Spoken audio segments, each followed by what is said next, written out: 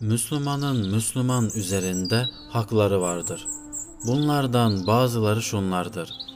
Karşılaştığı zaman Müslüman kardeşlerine selam vermesi, davet edildiği zaman davetlere katılması, aksırdığı zaman elhamdülillah diyene yerhamükallah, Allah rahmet etsin demesi, vefat eden kardeşinin cenaze namazına katılmak, nasihat isteyene öğüt vermek, kardeşinin olmadığı mecliste gıybetini yapmamak, kendi için sevdiğini onun içinde sevmektir.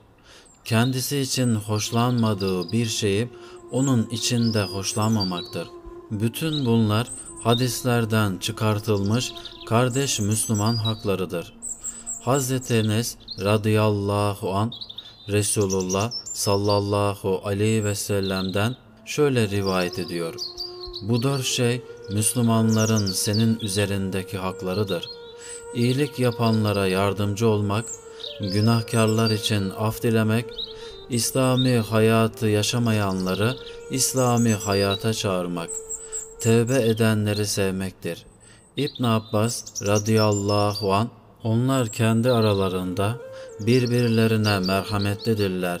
Fetih suresi ayetinin açıklamasında şöyle dedi. Müminlerden iyi ahlaklı olanlar, iyi ahlakı olmayanları iyi amellere çağırır. İyi ahlaklı olmayan salih kullara bakarak şöyle der. Allah'ım ona verdiğin güzel ve iyi ahlakı mübarek kıl. Onu güzel ahlakında devamlı yürüt. Salih olan salih olmayana bakarak der ki Allah'ım ona iyi ahlaklı olmayı nasip et ve onun günahlarını bağışla. Kul haklarından biri de kişinin kendi için sevdiğini mümin kardeşi için de sevmek, kendisi için çirkin gördüğünü mümin kardeşi için de çirkin görmektir.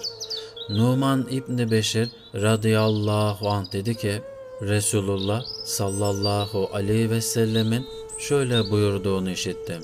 Müminler birbirlerine karşı sevgi ve merhamette adeta bir vücut gibidirler.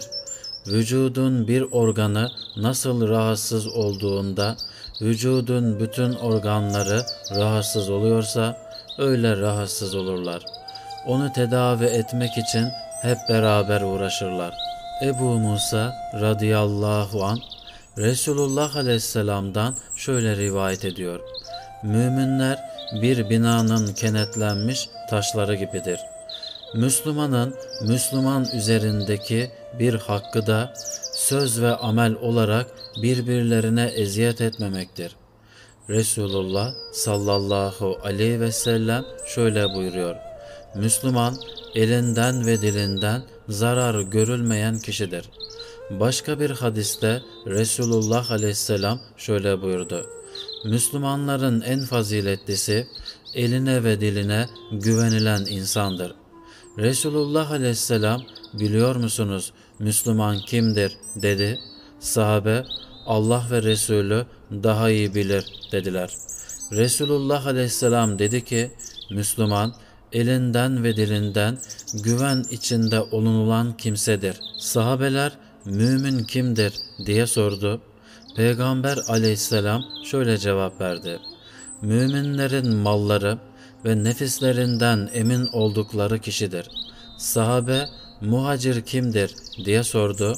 Peygamber aleyhisselam kötülüğü yapmayarak ondan kaçınandır. Bu esnada birisi ey Allah'ın elçisi İslam nedir diye sordu. Peygamber aleyhisselam kalbin Allah'a teslim olması, Müslümanların onun eli ve dilinden emin olmasıdır. Ebu Hureyre radıyallahu anh dedi ki, Resulullah sallallahu aleyhi ve selleme geldim ki, Ey Allah'ın Resulü, bana fayda verecek bir amel öğret. Peygamber aleyhisselam buyurdu ki, Müslümanların yolları üzerindeki onlara eziyet veren şeyleri kaldır. Mücahit radıyallahu anh anlatıyor. Cehennem ehline kaşıntı veren bir bela musallat olur. Öyle kaşınır ki kaşınmaktan vücuttaki kemikler açığa çıkar. Orada birisine şöyle sorulur. Acı veriyor mu? O, evet diyerek cevap verir. Ona şöyle denir. Bu senin dünyada Müslümanlara verdiğin acıdır.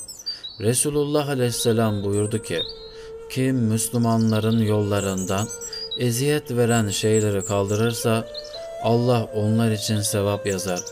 Bu sebepten dolayı onun cennete girmesi vaciptir. Peygamber aleyhisselam şöyle buyurdu. Müminin mümin kardeşine eziyet veya aşağılar bir şekilde bakması caiz değildir. Başka bir hadiste şöyle buyurulmaktadır. Müslümanın Müslümanı korkutması caiz değildir. Diğer bir hadiste şöyle buyuruldu. Müminlere eza vereni Allah çirkin görür.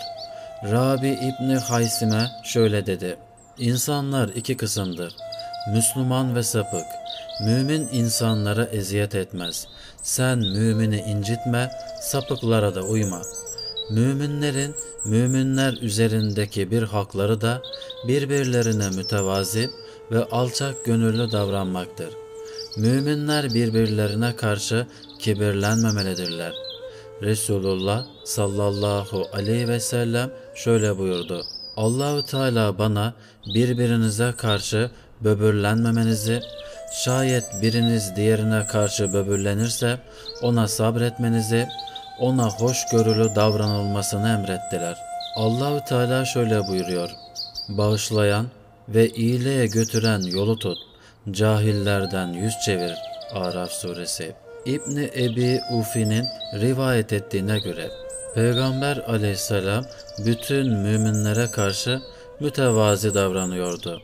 Müminlerin birbirleri üzerindeki haklarından biri de kovuculuk yapmamak, laf taşımamak, sırları saklamaktır. Resulullah aleyhisselam buyuruyor, kovuculuk yapan cennete giremez. Halil İbni Ahmet dedi ki, başkasını senin yanında çekiştiren, seni de başkası yanında çekiştirir. Sana başkasından söz getiren, senden de başkasına söz götürür. Müminin mümin üzerindeki haklarından biri de üç günden fazla dargın kalmamaktır. Eyüp el-Ensari, Resulullah Aleyhisselam'ın şöyle dediğini rivayet ediyor. Müslümanın Müslümana üç gün dargın olması, yolda giderlerken birbirlerinden başlarını çevirmeleri, selam vermemeleri helal değildir. Muhakkak ki karşılaştıklarında ilk başlayan daha hayırlıdır. Resulullah aleyhisselam dedi ki, kim mümine dargın olursa Allah da kıyamet günü ona dargın olur. İkrime'nin rivayet ettiğine göre Allahu Teala Yusuf Aleyhisselam'a şöyle bildirmiştir. Kardeşlerini bağışladığın için dünya ve ahirette namın yüceltilmiştir. Hazreti Ayşe radıyallahu anha dedi ki, Peygamber aleyhisselam kimseye nefsi için kin tutmaz, dargın kalmazdı. Ancak Allah'ın buyruklarına karşı gelindiği zaman intikam alır, dargın kalırdı. İbn Abbas radıyallahu anh dedi ki, birisinin kusurunu bağışlayanın Allah izzet ve şerefini arttırır. Resulullah aleyhisselam şöyle buyurdu. Sadaka malı azaltmaz, insanları kusurlarından dolayı bağışlayanın Allah izzetini artırır. Kim alçak gönüllü olursa Allah onu yüceltir.''